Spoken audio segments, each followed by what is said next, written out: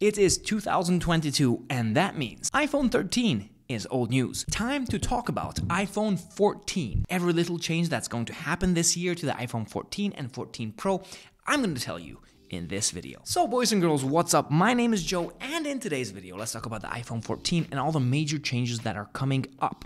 First of all, let's talk about sizes. A lot of people say that there's only going to be two sizes for the new models. As you might know, there are currently three sizes. There's a mini, a normal, and a max version, or the Pro Max version.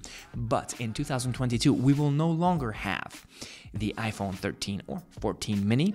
That's going to be discontinued. The small screen is out the window. What will happen is we'll have an iPhone 14 and an iPhone 14 Max.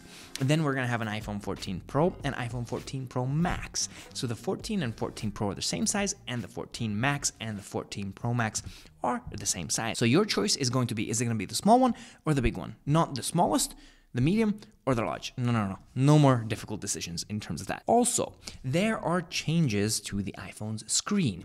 First of all, the whole Face ID sensor and front camera is going to be fully changed in the Pro version. In the normal version, it's probably going to stay the same, but in the Pro version, we are going to have a small cutout, a pill-shaped cutout, plus uh, like a dot on an eye. It's gonna look like an eye. Apart from this, they, they managed to put all of the sensors, all of the Face ID sensors in the small pill shape, and you're gonna have the camera separate. This camera, according to Ming Chi Kuo, is going to be revamped and it's going to be a really cool selfie camera. So it's going to have autofocus, it's going to have better dark photography. It's going to have all of these things and it's going to be a major upgrade to the previous years. Now, there's a big upgrade coming on the backside as well. We're going to have a 48 megapixel camera in the Pro version. Do you see what's happening over here?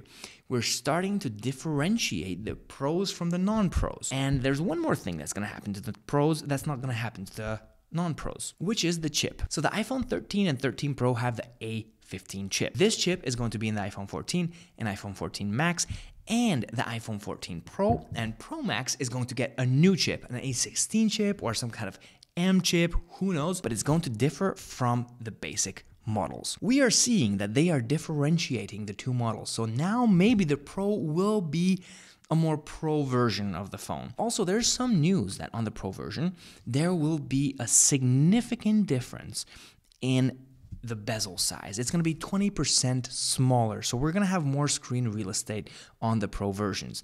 That's really cool when you're actually doing a lot of uh, videography and whatever, because you have more screen real estate to look around on what you're actually seeing. In terms of battery life, we don't know. In terms of design, it's going to stay the same. Not many significant upgrades happening there. Probably we're going to get some new colors, and probably Apple's going to throw in there something uh, software wise, as they always just like with um, you know cinematic mode or whatever. Apart from this, there's not going to be much upgrades. There's no USB-C coming. There's no modified wireless charging. There's no no no extreme features. No underscreen finger um, print reader. So don't even think about that. What will happen though is we're to have a really cool iOS 16 benefits on these devices. Every year, Apple upgrades their iOS operating system.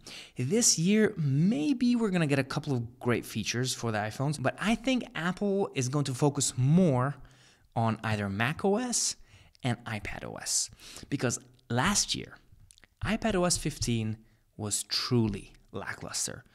It didn't bring the performance benefits that the M1 chip in the iPads require. People can't really utilize all that power in their iPads because the operating system isn't just letting them.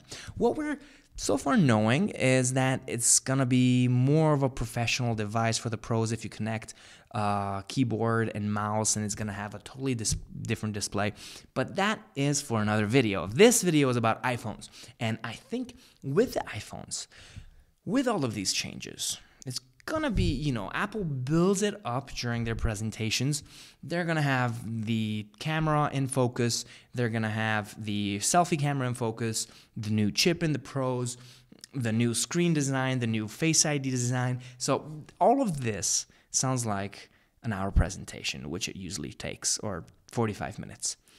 Other than this, don't expect much. If you're holding on to an iPhone 13 or 13 Pro, or the Mini or the Max, this is not going to be your year to upgrade. Maybe next year. But if you're holding on to an iPhone 11 or maybe even 12, then you might be considering upgrading to this device. So, new cameras, new selfie camera, better low light photography on the selfie camera, better resolution, 48 megapixels, smaller notches, no notches, smaller bezels. It's interesting. And only two sizes. So, iPhone 14 and 14 Pro, what do you guys think? What's to happen? Let me know down in the comment section below. And until my next video, stay safe and